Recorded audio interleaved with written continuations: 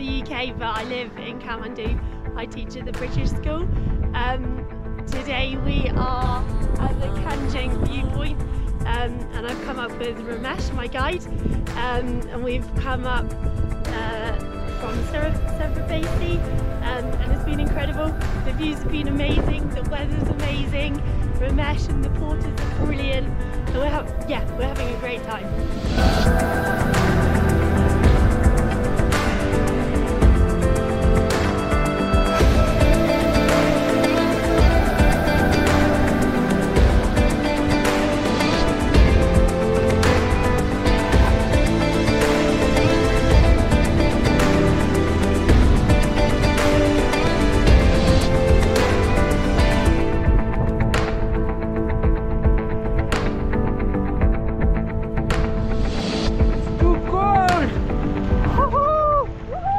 Crossing Himalayan River.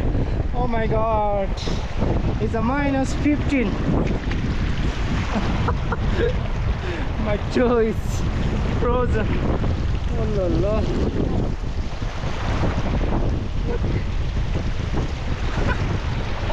I'm very cold. Your is shaking. I know.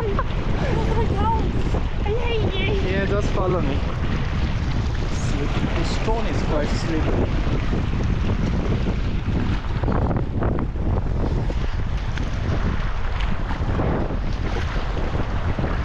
It's quite difficult. You wanna hold me? I'm okay. You good? Yeah, Almost here.